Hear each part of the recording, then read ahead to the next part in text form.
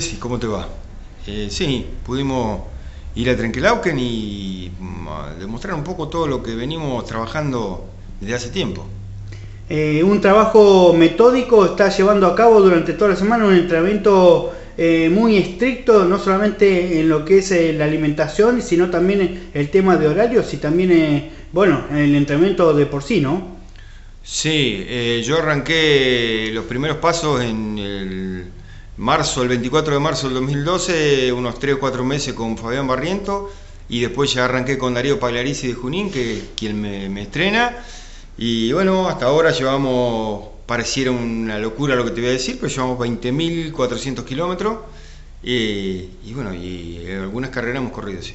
Contar un poquito, volviendo a la carrera del domingo, eh, bueno, cómo la estudiaste y bueno, eh, estuviste con, compitiendo, o sea, ahí a media rueda eh, con el campeón argentino, ¿no?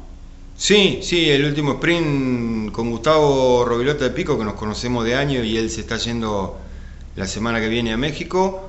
lo disputamos rueda a rueda, así que Bien, contento. Eh, contento yo, contento mi familia, contento el profesor. Eh, vamos todo por adelante. David, eh, bueno, ¿qué es lo que se viene de ahora en más? sé que tenés muchas competencias que, se vienen de ruta y bueno, que vas a estar presente, si Dios quiere, ¿no? Sí, este sí. Ahora vienen el domingo Casar, el lunes Pehuajó, y después viene una grande viernes 24 General Pico y sábado 25 Santa Rosa, creo. Eh, bueno, para el que uno ama este deporte como el ciclismo, que lo entiende, digamos, eh, eh, la familia un poco la dejamos de, relegada, ¿no? Con todo esto.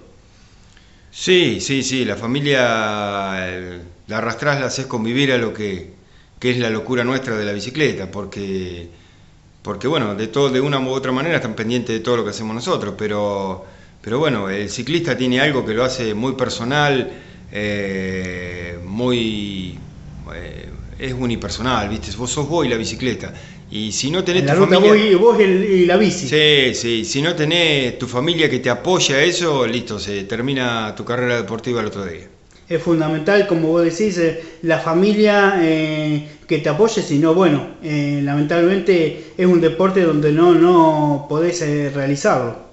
No, sin duda, vos te tenés que cuidar porque vos haces un sacrificio con los vientos que estamos soportando ahora de, tres horas y de entrenamiento y bueno, podés venir y comerte comidas que no, no, estén de acuerdo a, la dieta y al trabajo que venís haciendo. Es un trabajo, lo haces como un profesional siendo un amateur de, acá de General Villegas.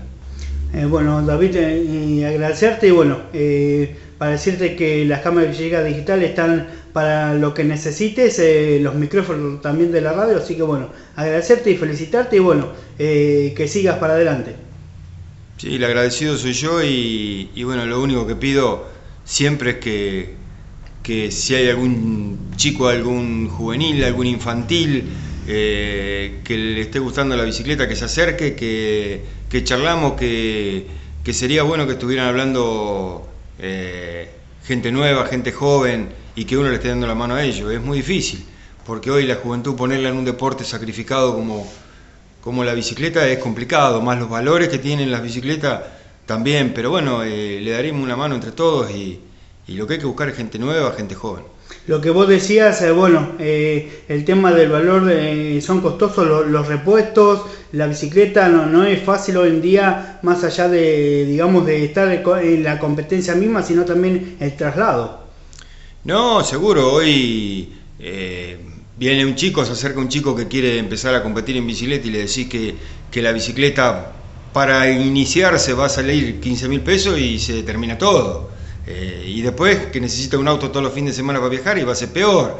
Eh, un deporte eh, casi de lujo hoy. David, felicitaciones y bueno, agradecerte siempre la buena predisposición para con nosotros y bueno, estamos en contacto. Vamos, gracias a ustedes.